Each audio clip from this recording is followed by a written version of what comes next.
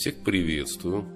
Продолжаем знакомиться с персонажами античного мира по книге Бетти Редис «Кто есть кто в античном мире», дополняя данными из Википедии и интернета. Про перцы Секст. Про перцы Секст 50-16 год до нашей эры, римский поэт и легик, родом из Ассизии, живший в Риме. До нас дошли четыре книги про Перция, являющихся уникальным памятником античной литературы. Про Перция с необыкновенной психологической точностью и выразительностью описывают свою страсть к цинтии, умело придавая известным латинским словам и выражениям совершенно новые значения. Многочисленные мифологические аллюзии про Перция могут показаться сложными для современного читателя читателя, но на самом деле они не сложнее, чем у Листа или Паунда, Фета или Мандельштам. Поэтическое настроение у проперца может несколько раз меняться на протяжении одного стихотворения, отражая как присущее ему острое ощущение неизбежности смерти, так и его тонкого чувства комичности. В своих поздних стихах проперцы говорит, что хотел бы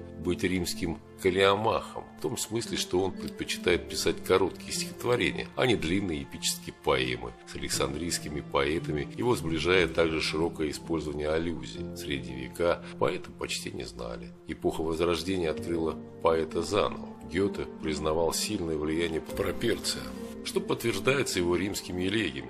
В 20 веке опыт творчества прочтения Проперция представил Паунд в своей книге «Дань сексту Проперцию». Нет, Книфе, ложью не силься готовой, свое вероломство прикрыть. Богов не испытывая клятвы новой, дай прежнее им позабыть. О, дерзкая, знай, что грозит тебе кара, и с нею печаль для меня, когда рокового ты силы удара почую среди ясного дня. Ведь раньше речные покатятся воды назад от пучины морской, и прежде в годичном порядке природы обратным окажется строй, чем будет на миг мое сердце свободно от страстной заботы о том, чтоб ты, если хочешь, жила как угодно, лишь мне не чужую во всем. И чем хоть на каплю потерпит утраты любимые глазки твои, которым часто, когда мне лгалаты, сомнения смирялись мои. И кто заставлял тебе щек твоих розы на бледность менять столько раз, и кто выжимать принуждал тебе слезы?